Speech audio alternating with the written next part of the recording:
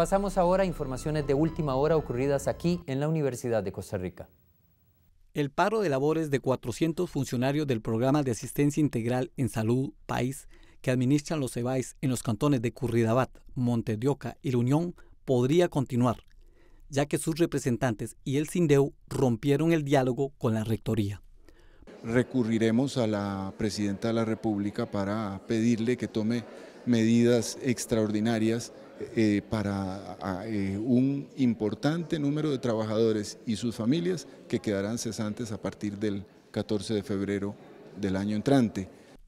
Por su parte, los representantes de los CEBAIS y el CINDEU, que están apostados frente a la Rectoría desde hace una semana, destacan su incertidumbre laboral, pues tienen nombramientos temporales interinos hasta el 14 de febrero del 2014 cuando vence el convenio entre la Universidad de Costa Rica y la Caja Costarricense de Seguro Social para administrar esos centros de atención en salud.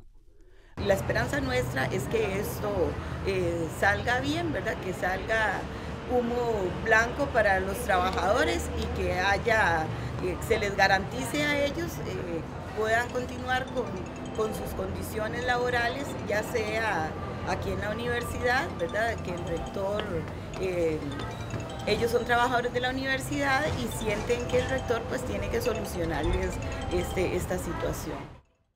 La rectoría desea reabrir el diálogo entre las partes, ya que la propia Universidad de Costa Rica ha hecho esfuerzos para reincorporar el 10% de los trabajadores de los EBAIS.